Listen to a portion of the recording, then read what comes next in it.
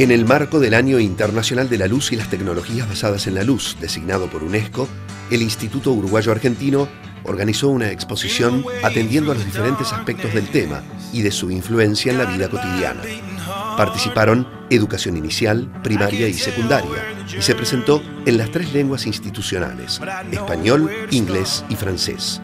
Se abordó desde la tecnología, la astronomía, la física, la química, la biología y el arte.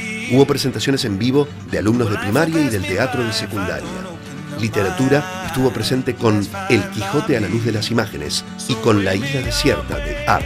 También hubo propuestas interactivas, un concurso de fotografía matemática cuyo jurado fueron los visitantes y salas para jugar con luces y sombras. Contó con gran afluencia de público durante toda la jornada.